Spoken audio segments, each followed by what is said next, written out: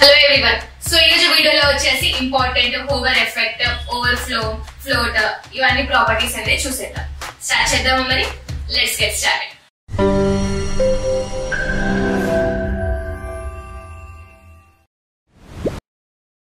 CSS important declaration ఇది exclamatory important అని చెప్పి ఇలా రాస్తాము డిక్లరేషన్ని. సో ఇది ఎందుకంటే ఇది మనం రాసిన స్టైల్స్ని అది ఓవర్ రైట్ చేస్తుంది అనమాట సో మీకు ఇక్కడ ఎగ్జాంపుల్ చూపిస్తాను. ఇక్కడ నేను చూడండి బటన్ తీసుకొని ఇక్కడ రెడ్ అని చెప్పి ఇంపార్టెంట్ చేస్తే అది అనేసి ఆ రెడ్ కలర్కి ఇంపార్టెన్స్ పెరిగి అది అనేది ప్రీవియస్ కలర్స్ని ఓవర్ చేసి అది మనకి డిస్ప్లే అవుతుంది. సో ఎగ్జాంపుల్ చేస్తాను. సో ఇక్కడ నేను ఒక బటన్ తీసుకుంటున్నాను. తీసుకొని క్లిక్ హియర్ అన్నట్టు రాస్తాను. సో ఇక్కడ నేను స్టైలింగ్స్లో బటన్ బ్యాక్గ్రౌండ్ కలర్ వచ్చేసి రెడ్ తీసుకుంటాను. అవుట్పుట్లో చూద్దాము. సో ఇక్కడ చూస్తారా? ఇక్కడ మనకి రెడ్ కలర్లో ఉంది కదా బటన్ నేను జూమ్ చేసి చూపిస్తాను. సో ఇప్పుడు ఏం చేస్తాను? మళ్ళీ ఇంకొక కలర్ని తీసుకుంటాను. సేమ్ అలాగే బటన్ రాసేసి బ్యాక్గ్రౌండ్ కలర్ ఇక్కడ నేను బ్లూ తీసుకుంటాను. సో అవుట్పుట్లో చూడండి. బ్లూ లో చేంజ్ అయింది కదా. నేను ప్రీవియస్ క్లాసెస్లో ఏం చెప్పాను మీకు? ఇదైతే మనము సిఎస్ఎస్ అనేది ఫైల్ అప్ నుంచి కింది వరకు రీడ్ అవుతుందని ఇప్పుడు మనం సపోజ్ ఒక స్టైలింగ్ చేశాక నెక్స్ట్ ఆ స్టైల్స్ ఏదో రాస్తాము మనం రాసిన స్టైల్కి మనకి ఇంపార్టెన్స్ పెరుగుతుంది కానీ ప్రీవియస్ దానికి ఉండదు అని. సో మనం ఇది చేంజ్ చేయొచ్చు అనమాట ఇంపార్టెంట్ అని చెప్పి డిక్లరేషన్ ఇచ్చేసి. సో ఇప్పుడు నేను రెడ్ కలర్ ఉంది కదా. సో ఇక్కడ రెడ్లో సెమికోలన్కి ముందు ఇక్కడ నేను ఎక్స్క్లమేటరీ ఇంపార్టెంట్ అని చెప్పి రాస్తాను. రాయగానే ఇక్కడ ఒకసారి అవుట్పుట్ చూడండి. మళ్ళీ రెడ్లోకి చేంజ్ అయిపోయింది. ఇలా మనం ఇంపార్టెంట్ అని చెప్పి డిక్లేర్ చేస్తే ఏంటంటే ఆ పర్టికులర్ స్టైలింగ్కి మనకి ఇంపార్టెంట్ పెరిగి అదే మనకి అవుట్పుట్లో కనిపిస్తుంది అనమాట సో ఇలా. సో నెక్స్ట్ వచ్చేసి హోవర్ అన్నమాట. ఈ హోవర్ ఎలా అంటే మనం నాబార్లో పర్టికులర్ ఒక దాని మీద సపోజ్ హోమ్ మీద ఇట్లా మౌస్ అనేది ప్లేస్ చేస్తే అది ఒక కలర్లో మనకి హోవర్ అవుతుంది. ఒక కలర్ డిఫరెంట్గా చేంజ్ అవుతుంది. సో అది నాబార్లో కావచ్చు బటనే కావచ్చు లేకుంటే హెచ్ వన్ ట్యాగ్ టెక్స్ట్ అయినా కావచ్చు ఏదైనా కావచ్చు. అది కంప్లీట్గా కలర్ అనేది ఇట్లా హోవర్ అవుతుంది. ఒకసారి మీకు ఎగ్జాంపుల్ చూపిస్తాను. ఇక్కడ నేను హెచ్ వన్ ట్యాగ్ తీసుకుంటాను. హెచ్ వన్ నేమ్ రాసుకుంటాను ఇక్కడ నేను. రాసి. సో నా అవుట్పుట్లో చెక్ చూస్తాను. చూడండి. నా నేమ్ అనేది డిస్ప్లే అయ్యింది కదా. సో ఇప్పుడు నేను ఏం చేస్తానంటే స్టైలింగ్లో ఇక్కడ నేను హెచ్ వన్ తీసుకొని ఇక్కడ మనము హోవర్ని ఎలా డిస్క్రైబ్ చేస్తామంటే ఇక్కడ మనము కొలెన్ అది పర్టికులర్ ఎలిమెంట్ ఉంటుంది కదా మనం ఇప్పుడు హెచ్ వన్ ట్యాగ్కి స్టైలింగ్ చేస్తున్నాం. సో పర్టికులర్ ఎలిమెంట్ కొలెన్ రాసేసి అక్కడ మనము హోవర్ అని చెప్పి రాయాలన్నమాట. చూడండి ఇక్కడ హోవర్ ఇలా రాసేసి అప్పుడు మనము దానికి ఏ కలర్ కలర్ అనేది ఇప్పుడు హెచ్ వన్ ట్యాగ్ వచ్చేసి కలర్ ఆల్రెడీ బ్లాక్ ఉంది కదా. సో మనది హోవర్ చేస్తే ఏ కలర్లో ఉండాలి? బ్యాక్గ్రౌండ్ కలర్ వచ్చేసి నేను సపోజ్ గ్రీన్ అనుకుంటాను. బ్యాక్గ్రౌండ్ గ్రీన్ ప్లస్ ఆ టెక్స్ట్ కలర్ ఏది ఉండాలి? సో కలర్ వచ్చేసి వైట్ అనుకుంటాను. సో ఇప్పుడు అవుట్పుట్ చూపిస్తాను చూడండి. మౌజ్ అంది కదా ఆ మౌజ్ అనేది కర్సర్ మీద ప్లేస్ చేయగానే మనకి కలర్ టెక్స్ట్ కలర్ వైట్లో చేంజ్ అయిపోయింది బ్యాక్గ్రౌండ్ కలర్ వచ్చేసి గ్రీన్లో చేంజ్ అయింది సో ఇలా మనం హోవర్ని డిస్క్రైబ్ చేస్తాం అనమాట సో ఇక్కడ ఎలిమెంట్ పర్టికులర్ ఎలిమెంట్ ఉంది కదా. Particular element H one colon ఇంకా హోవర్ అని చెప్పి రాయాలన్నమాట. సో అలా రాసేసి ఇలా మనము కలర్స్ అనేది ఇందులో వేస్తే సరిపోతుంది. So float property float property ఎలా అంటే is use allow elements to be move to the left or right of the parent container parent container ఉంటుంది కదా పేరెంట్ కంటైనర్లోనే ఎలిమెంట్స్ని లెఫ్ట్ ఆర్ రైట్ మూవ్ చేయడానికి మనకి యూజ్ అవుతుంది అనమాట ఫ్లోట్ లెఫ్ట్ రైట్ నన్ అని చెప్పేసి మూడు ఉంటాయి. నన్ అనేది డిఫాల్ట్గా ఉంటుంది అనమాట సో మీకు ఎగ్జాంపుల్ చూపిస్తాను. సో ఇక్కడ నేను ఆల్రెడీ ఇక్కడ ఇమేజ్ అనేది ఒకటి తీసుకున్నాను. సో ఇక్కడ నేను డివ్ కంటైనర్ తీసుకొని దాంట్లో ఇమేజ్ ట్యాగ్ తీసుకుంటాను. ఇమేజ్ ట్యాగ్ తీసుకొని పాత్ అనేది ఇస్తాను. ఏది ఇమేజ్ పాత ఇచ్చేసి క్లోజ్ చేసేస్తాను.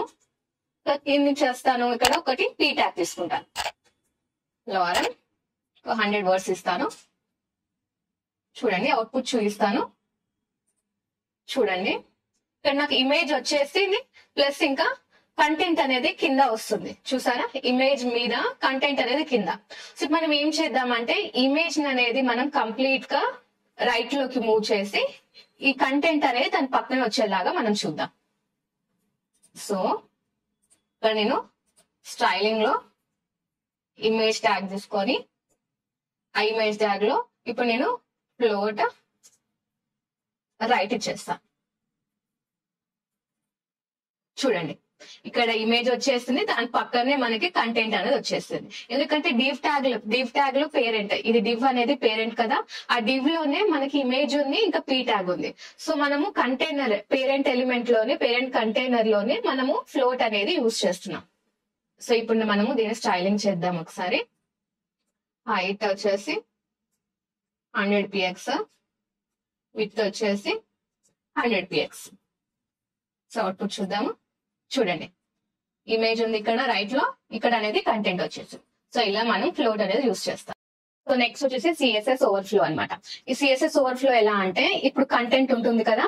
ఒక కంటైనర్లో కంటెంట్ అనేది ఓవర్ఫ్లో అవుతుంది కదా. అది ఎలా డిస్ప్లే అవ్వాలి ఏంటి అని చెప్పేసి సిఎస్ఎస్ ఓవర్ఫ్లో ప్రాపర్టీస్లో మనం చూడొచ్చు అనమాట సో ఇక్కడ చూడండి. It use to control how the content that overflows the boundaries of an element is displayed particularly useful when dealing with content that is too large to fit within its container. So దీంట్లో మనకి overflow visible అనేది డిఫాల్ట్గా ఉంటుంది అనమాట so next hidden scroll auto ఇలా మనకి ఉంటాయి అనమాట సో ఫస్ట్ దీనికి మనం ఎగ్జాంపుల్ చూద్దాము. సో ఇప్పుడు నేను ఫస్ట్ ఏం చేస్తానంటే ఇక్కడ ఒక డీప్ కంటైనర్ తీసుకుంటాను. డీప్ కంటైనర్ తీసుకొని దాంట్లో ఇప్పుడు నేను టెక్స్ట్ లోరా మెప్సమ్ వచ్చేసి నేను సపోజ్ ఒక త్రీ హండ్రెడ్ తీసుకుంటాను. తీసుకొని డివికి ఒక క్లాస్ నేమ్ ఇచ్చేస్తాను నేను. క్లాస్ వచ్చేసి సపోజ్ కంటైనర్ అని చేద్దాం. సో అవుట్పుట్ చూద్దాం ఒకసారి. చూస్తాను నార్మల్ టెక్స్ట్ అయితే మనకు వచ్చింది కదా.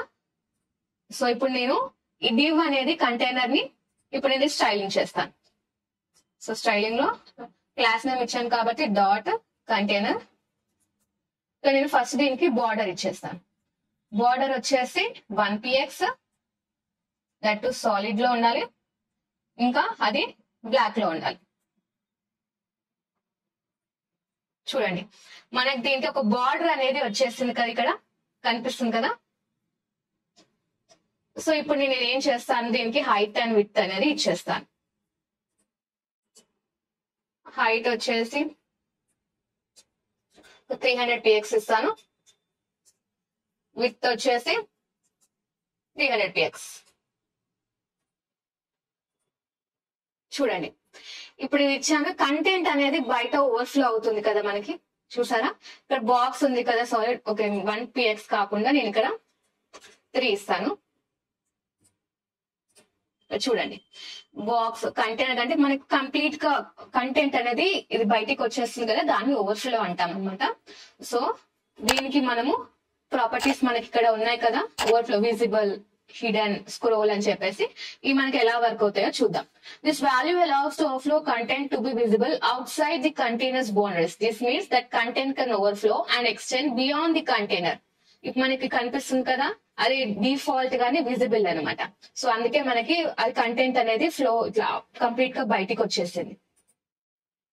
సో దీన్ని మనం డిఫాల్ట్ అది విజిబుల్ అంటాం అనమాట ఓవర్ఫ్లో సో నెక్స్ట్ వచ్చేసి హిడెన్ ఒకసారి నేను హిడెన్ ఇక్కడ నేను రాసి చూపిస్తాను. ఇక్కడ ఓవర్ఫ్లో హిడెన్ చూడండి. హిడెన్ ఏంటంటే కంటెంట్ బాండ్ బార్డర్ కంటే బయటికి వచ్చేసింది కదా దాన్ని కంప్లీట్గా హైడ్ చేస్తుంది అనమాట ఓవర్ఫ్లో ఓవర్ఫ్లో హిడెన్ అనేది దానికి యూస్ చేస్తాం. సో నెక్స్ట్ వచ్చేసి స్క్రోల్ ఇక్కడ స్క్రోల్ రాస్తాను నేను. స్క్రోల్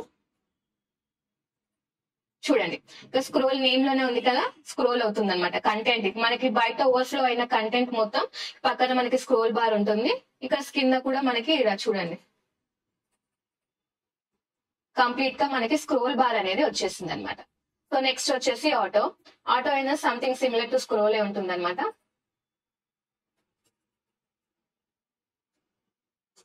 ఆటో చూడండి. కాకపోతే ఇంత ముందు కింద మనకి స్క్రోల్ బార్ వచ్చింది. ఇప్పుడేమో కింద మనకి రావట్లేదు. ఓన్లీ జస్ట్ సైడ్లో ఉంటుంది. అది మనకి కావాలనుకున్న కావాలనుకున్నప్పుడు మాత్రమే స్క్రోల్ బార్ అనేది మనకి డిస్ప్లే అవుతుంది అనమాట ఆటోలో కానీ ప్రీవియస్గా మాత్రం అలా కాదు. స్క్రోల్లో మాత్రం మనకి స్క్రోల్ బార్ అనేది మనకి కనిపిస్తుంది. సో ఇవి ఓవర్ఫ్లో ప్రాపర్టీస్ అన్నమాట.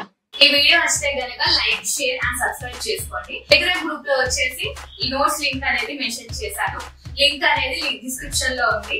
లేకుంటే స్క్రీన్ మీద కనిపిస్తుంది అనేది స్కాన్ చేసుకోండి. ఓకేనా మరి? చలో నెక్స్ట్ వీడియోలో కలుద్దాం.